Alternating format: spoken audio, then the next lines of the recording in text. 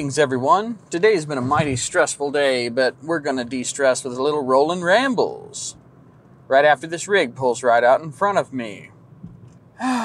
Today, I want to tell you about a long, long time ago, back when I was around 18 or 19. I did some temp work where I did computer stuff. Um, obviously, at 18, nobody's hiring me to be some sort of server administrator. But I was hired to do basic break fix technician type stuff. Really not terribly complicated stuff. And uh, the other guy I worked with was in his early 20s. So obviously, this is not a job that required some sort of amazing genius computer skill. and to be fair, at 18, I didn't know how to program in C. Um, there were a lot of computer skills I didn't have that I have now. So I was much earlier on in my development. I didn't have access to resources when I was younger. Um, in fact, every computer I ever owned was old. Um, even the Commodore 64, by the time I got to actually play video games on it, I was like three or four, I think. And um, yeah, at three or four, it's a little iffy. Um, I learned how to type load, blah, blah, blah, you know, the commands to get a game to go. But that's about it. While I was able to minimally operate that computer, um, the problem is that it, it wasn't exactly state of the art. Although, to be fair, um, we are talking like the mid to late 80s, so the Commodore 64 was still selling, but we were right at the cusp of the Amiga and 16 bit everything taking over all over the place. Technically, IBM PCs had been 16 bit for quite some time, but um, just to be clear, a long time ago in a, in a galaxy not so far away, IBM PCs. Um, they came with the 8086 processor, which was 16 bit, which means that the processor can process 16 bits. But the PC XT is what really made its way into homes. Now, the problem with the PC XT is that it's 16 bits, but the data bus is 8 bits. So it does not retrieve 16 bits from RAM. RAM is not 16 bits wide, it's 8 bits wide. When you have an 8 bit bus, to retrieve a 16 bit value, you have to perform two fetches, which effectively means that all bus accesses were half speed um, assuming that 16 bit stuff was even necessary. But it made it easier to interface with external peripherals to have an 8 bit data bus because at the time, a lot of peripherals were, in fact, 8 bit um, data bus. So, yeah, you get the idea. But that's sort of tangential to the point. The point is, I didn't have a PCXT when I was like four.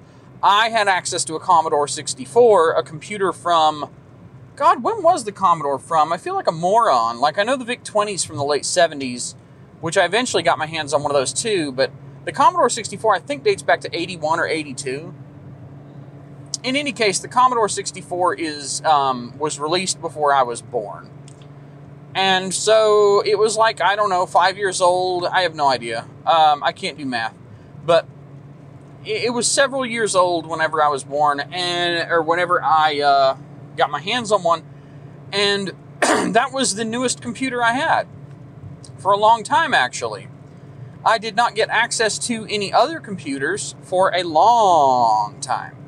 The next machine I got was uh, when I was. Ooh, I gotta think. Oh my god, I actually do have to think about this. Was like was I like 11? And guess what? The machine I got when I was 11 was an IBM PC XT clone 8086, 640 kilobytes of RAM, two five and a quarter floppy drives. But just think about that for a second. Two five and a quarter floppy drives. there was no hard drive. We're we're getting up into the 90s and no hard drive yet. I'm running DOS 3.3, MS DOS 3.3. The only editor available is Edlin, the worst editor um, which frankly, it's easier to type copycon whatever the name is dot .bat and then just type out the batch file than it is to go into Edlin and edit it that way.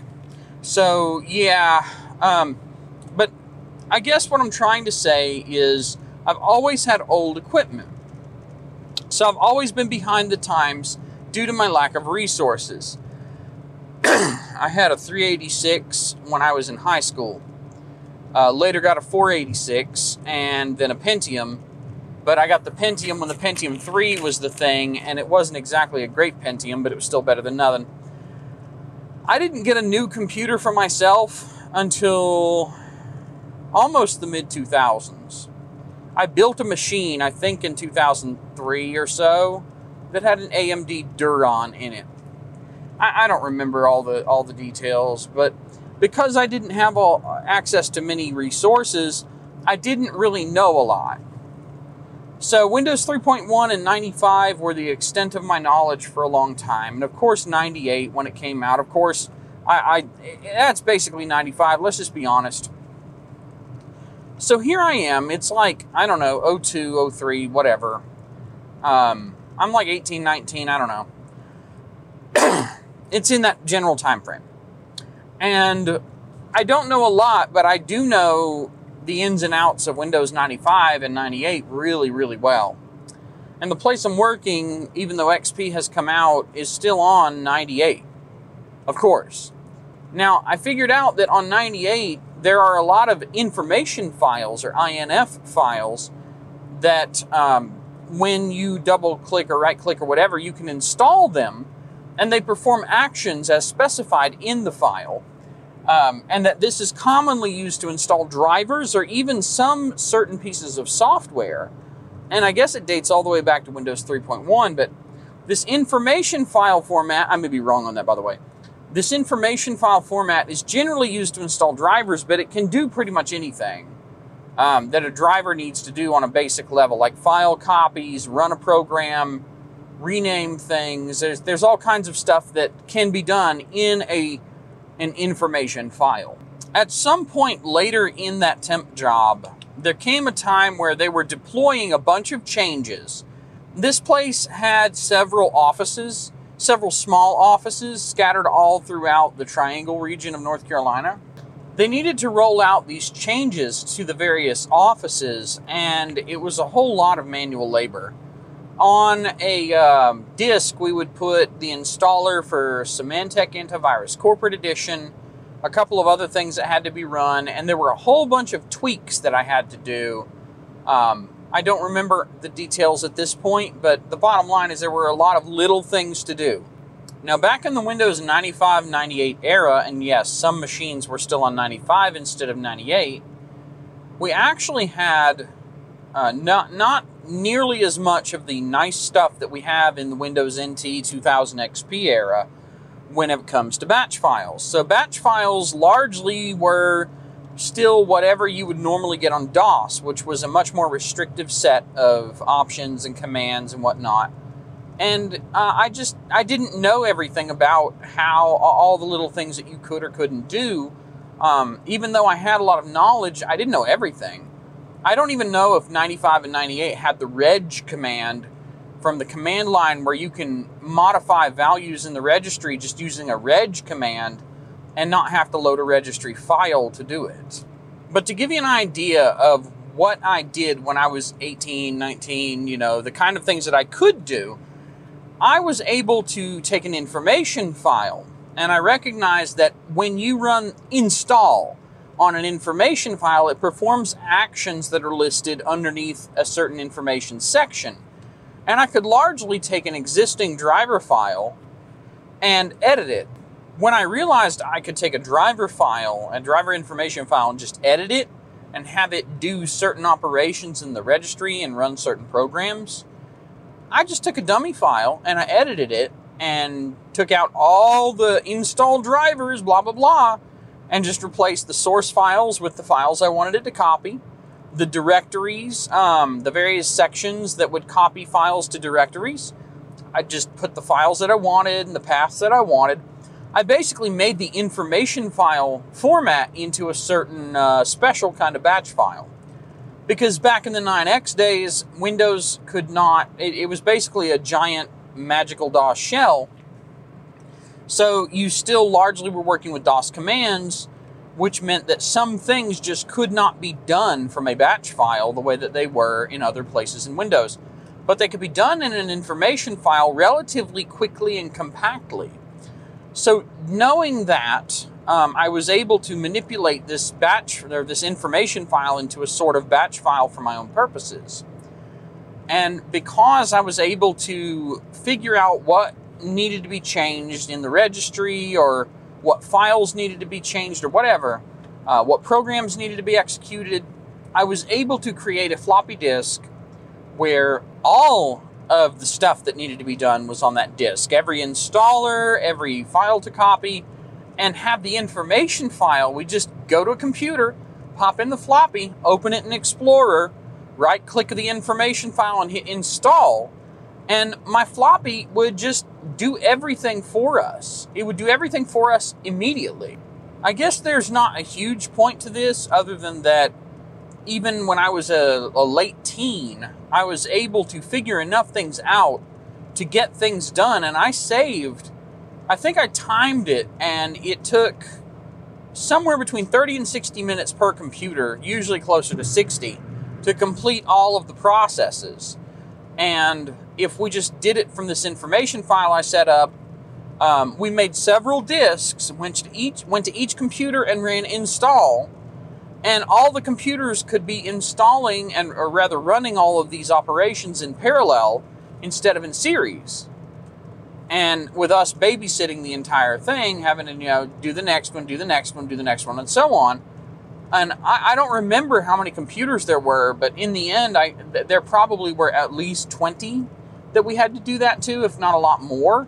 So I would say I saved them a minimum of 20 hours, um, and a part-time week of labor um, on those computers. And of course, I got paid nothing extra for it because that's just the way things go, especially when you're 18 and you don't know to ask for things like that. And I probably wouldn't get it anyway. It was, it was a temporary job. I was actually there longer than I was supposed to be because I was useful to them. But um, they kept me on for like a year and a half. I don't know.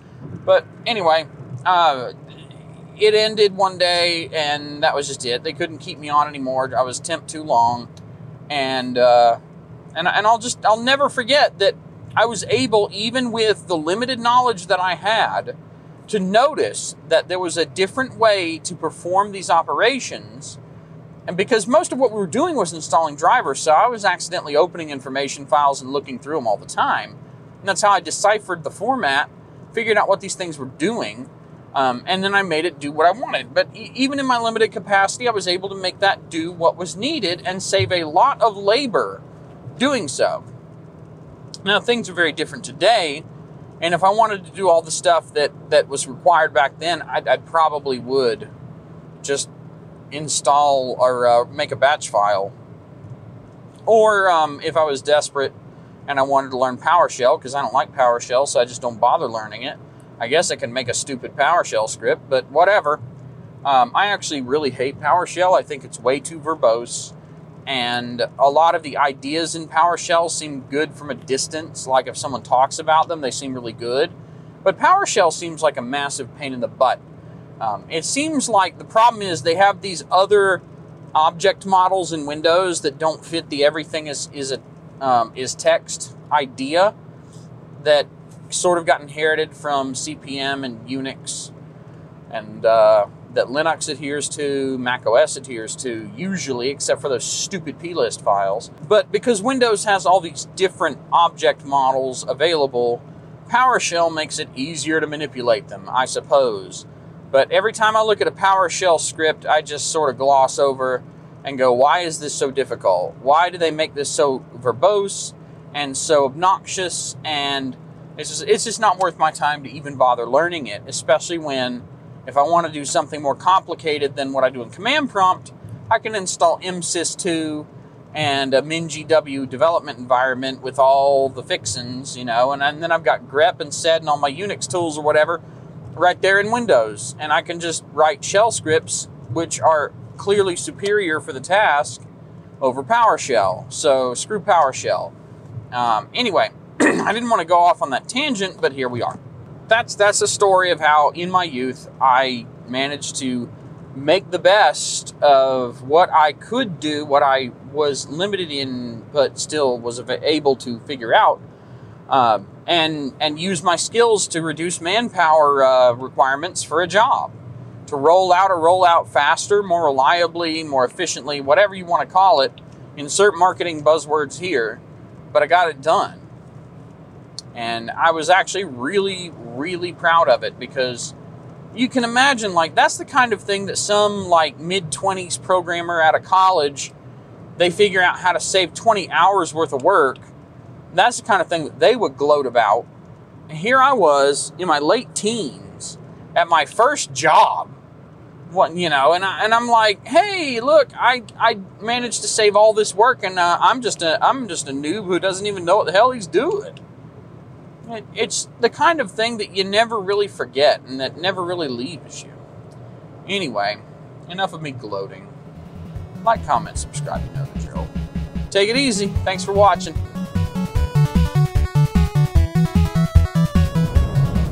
I just realized the camera's wobbling, and it's wobbling a lot too. It's it's not a small wobble. It's pretty bad. Jesus. I hope you can see me because the camera's shaking like crazy. Oh well, this ramble will be wiggly. So be it.